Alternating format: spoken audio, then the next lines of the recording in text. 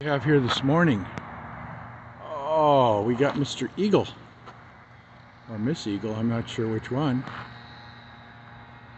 She's got her eyes on these ducks on the pond.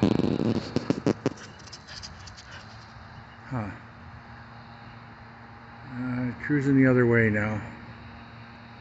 But I'll bet it comes back. He's making the rounds. Where'd he go?